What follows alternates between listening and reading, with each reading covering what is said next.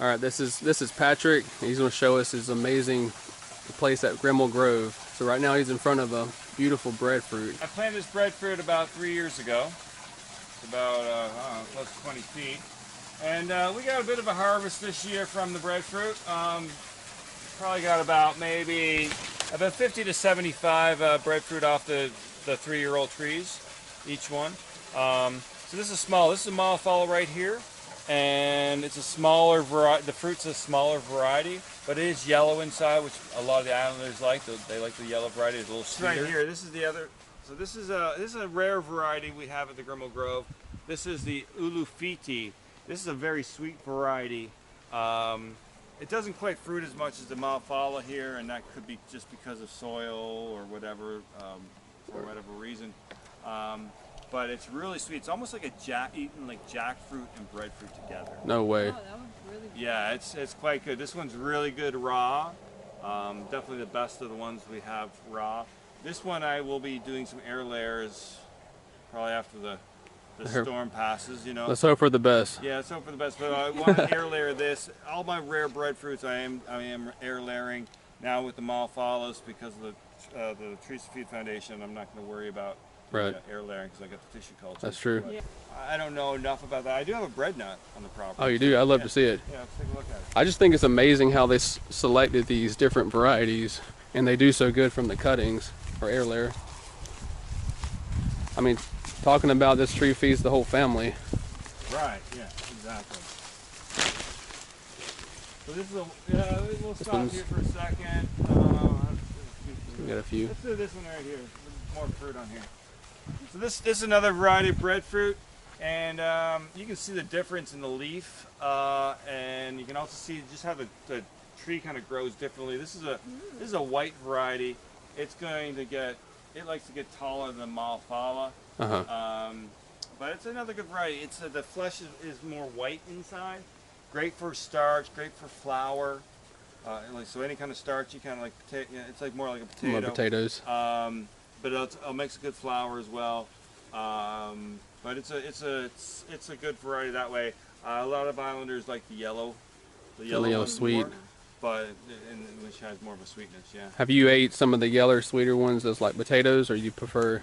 Oh yeah, I do both. Eat both I mean, Yeah, ways? yeah. I'll, I'll, I'll the, like the Malfalas. That's a, that, that's got a yellow, but um, I've cooked up the ulufiti as well as a starch. You know, um, but really, that ulufiti would be nice to kind of use more as a as a sweet breadfruit. You know. Um, and I don't get as much from it. I don't know why for sure. So this this one here, this is another breadfruit here, uh, and supposedly uh, Diane uh, Ragone from the um, uh, Breadfruit Institute in Hawaii. This is where this came from. Oh, wow. And Wow. Same with the ulufiti actually. And uh, she told me this is actually an ulufiti with a different um, mother tree, from a different mother tree. So this breadfruit right here actually has seeds as well. Oh, And impressive. I get I get about eight seeds. I got some planted in uh, my nursery back there. oh wow. Um, and so it, it it's kind of seedy. It's not overly seedy, but you know you're gonna get about eight seeds. And you just like jackfruit, you can cook Just the pop. seeds up. Yeah, And eat them. you can eat them. Uh, you can bake them, or you know do whatever you want. Um, and or you can plant them out. Um, you know, breadfruit's not typically known to be true to seed, but uh, you never know what you'll. you'll How, how long do you think you'd have to wait from seed to see if it starts fruiting? It could I don't. Could I, vary. I don't know. I don't know. I just I just planted them. I I, I just a little test. Yeah, I mean Diane would know. Diane would know. I need to kind of get with her. Okay. They're, they're all, they're You can't be just an air layer and just sticking it in the ground or tissue culture because you know what it's going to be. Well, that's the thing. Like that's more for like having fun with like and seeing what you create. That's- Tell me what you're doing here. You're doing like a little. Yeah, so it's like a little uh, kind of a hedging of breadfruit. So I like this. This is this is a Malafala again. And Malafala, by no means is a compact uh, or a dwarf breadfruit. You know, some people will call it dwarf. It's not dwarf, but it can it can handle being smaller. So this one, I'm just trying to hedge it and keep it to about what six feet or so. I want to keep it at, and and experiment with hedging breadfruit, especially the Malafala um, variety. uh, and seeing if we can get some fruit from it. This, Mm-hmm. this tree produced about five fruits this year. I think I remember seeing it when we Yeah. walked over here. Yeah, yeah, we had a couple on the tree at that point, and you know, I harvest those, and um, but again, it, it's it makes such a great ornamental as well. You know, It really does. that that I think it, it could be something for some people. This would be perfect for the greenhouse if you're in a cold climate. You can kind of Yeah. keep it short and compact. That's perfect, and it looks beautiful. It does look really beautiful. I'm well, imagine thinking having a whole hedge of that. Like It would know, be I mean, great. It'd be really cool, wouldn't it? we're thinking of trying to the one I get from you. If, if you had any air layers of this, we were going to try to do a compact tree under her mango and avocado tree Okay. and see if I can kind of grow, kind of keep it a little bit warmer Okay. Yeah. And see if we I mean, can. breadfruit do like a lot of sunlight, but the, you know, it's still it's a, it's. A, it's like it's doing great. What I love about breadfruit, I don't, you know, I don't really fertilize. I'll mulch them a couple times a year. I don't do anything. It's So look at the amazing. green. I mean, look at how Yeah, like, it is. They don't seem to have too much pest, do they? And not really. Not really. Uh, there's a, there is a caterpillar every once in a while that eats away the leaves, but that's very rare. I have not seen any infestation yet. I mean, you know, you could always have an infestation, but um, no, man. I mean, the Is it- iguanas don't mess with it. The, the deer, the deer will eat them when they're really young. I mean, that Just could be- like young that, leaf. That could be some uh, deer. Probably when it was younger. But when but when the le- as the leaves get older, that it's it becomes like Velcro on the backside. Like it's, so what happens? The, the the the the backside of the leaves become like Velcro. No Shut way. up. I hadn't even tried that. Yeah, That is that's so kinda cool. That is It's gonna be cool. My Fantasy Yeah. Fest costume this Now you year. can just wear that. Yeah. So, uh, so it is an irritant though. It'll it'll it'll irritate Thank your you. skin. I mean, some people are sensitive to it. I'm not too. sen- I, but like I if haven't I'm, really uh, touched it. If I'm working with breadfruit, I'm usually wearing long sleeves. Yeah. You know, so. So you're um, talking about actual the the hairs or the the sap hair- that comes yeah, from yeah, it. The hairs there. You can feel that. Oh, I do feel it. It's hard to see. You can't even see it. Microscopic. Yeah, like but, but yeah, it's like the original uh, Velcro. Yeah. Nice. Imagine you made some special gloves. You can climb up some some claws. Spider-Man. Spider-Man on the cloth. Exactly.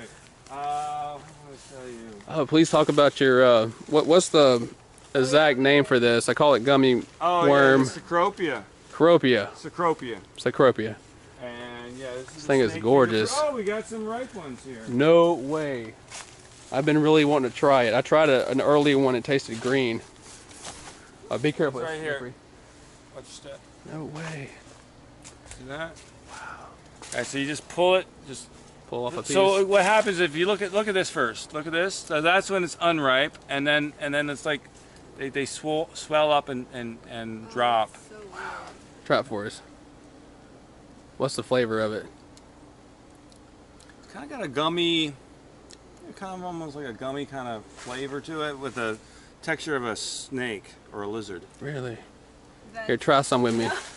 You know you like. You're gonna like it. It looks It's like mild. A It's lizard's very mild. It's tail. very Just mild. break it in half with me. It's sweet. Oh my god. Mild, sweet. There is a sweetness to it, This and the the texture. it, like if I were to stick my tongue on a lizard's uh, scales, Yeah. That's what that's it what it kinda- like. It the looks texture like tastes lizard's like. Tail. wow, it's really good. And it is a little little chewy. There is a lot of sweetness to it. This yeah, it's, it's it's a mild sweetness. I, I, I like it a lot. The, kid, I actually like it. the kids like it a lot, and uh, It's really good. might as well finish it off. Obviously, that's not something you take to market. Yeah, You just get the- them to grow it for. they're Is it- is lizard fun- tails. This well, this is fun for a tour. I mean, Yeah. I'm eating what lizard? Like, I'm eating a lizard tail. Yeah, like It's iguana. It looks like Have you ever tried to dry it out and actually turn it into a gummy? No, That would be cool. that would I wonder cool. if you can though. You Wonder- might. try it. You'd be like, here's a lizard tail. People believe you. I mean, it really does look like. Look at like it. If you were just. So that's the bread nut right over here. Oh, nice. That's the bread right The there. leaves are very different. They're like larger. Yeah, they're larger. Um, I actually wasn't really planning to like leave the tree there. I just planted it to put it in the Just ha- ground. end up and- happening. Uh, well, I'm gonna probably get rid of that palm. So, but Yeah. it's just it's gonna get take over. So Yeah. Well, what's Um, the what's the fruit like on the bread and nut? Is it Uh, well, similar? it's, it's nutty, man. You don't Very nutty? fruit. Yeah, it's, it's all about the nuts. Oh, okay. So the seeds are the main. Yeah, it's, it's all about the seeds. Yeah. I, I haven't. I've never tried it. This hasn't fruited yet. Um, but yeah, yeah. The, the, the leaves are massive. I also got other artocarpus in my nursery. I got a uh, marang, and I also got a pedalai. some other different stuff. So, hey guys, how you doing? Um, so this is breadfruit right here. These are two different varieties. This is an Otea, and this is a Mafala. And Mafala is what I have mostly at the Grimal Grove right now. Uh, Otea, this is a new one that I, I just got. Uh, thanks to the Trees That Feed Foundation, they uh, donated uh, these tissue cultures, and tissue cultures are done in a lab. Uh, they're done from DNA, and so it's really the cleanest way to really to propagate. And they actually grow super fast uh, as tissue cultures as well. Nice thing too about tissue cultures, they're nice and straight. Or They're my perfect. air layers sometimes are kind of a little Yeah. Curved around like a little Yeah. bonsai. yeah, so so this is exciting. Again, this is Ma- Malfala right here, and this is Otea. I'm really excited about this Otea. I've never had an Otea before, um, and it's supposed to be a very salt tolerant uh, breadfruit, Interesting. which is really great for the Florida Keys. That would be great. Yeah. So uh, That's exciting. So we're excited again. A really big big shout out to the Trees That Feed Foundation for uh, helping me out, uh, helping Grimal Grove out, and helping out uh, people to be able to grow breadfruit. You deserve it. Thank you.